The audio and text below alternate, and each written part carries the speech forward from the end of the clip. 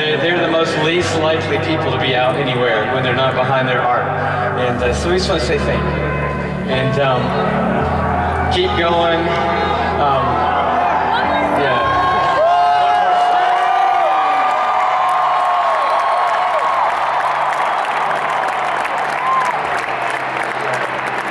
It's not gonna happen. Sorry.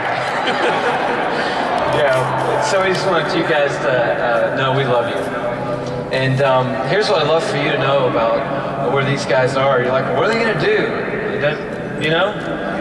You know? No, no, no. They're, they don't know. So it'd be awesome for you just to get behind them. You know, God turns pages in life, and that's what I hope that you learn from this moment.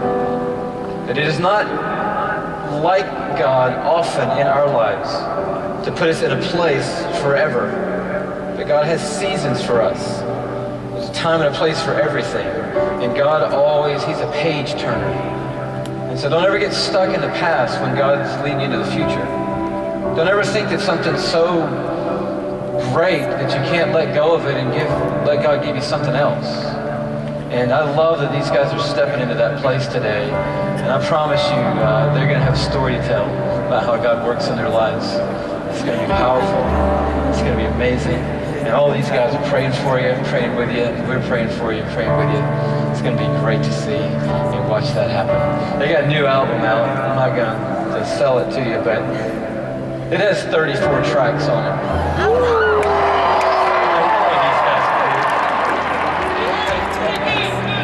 Yeah, it's not, it's not pretty good. It is ridiculous, this album, man. It's crazy.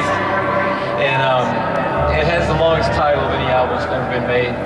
And it's double disc. It's, it's substantial. And uh, you're the only people in the world who can actually hold one in your hands right now. So that was just a gift from the Crowder Band to the people of Passion 2012. So you guys do that. So just one more time, just thank you.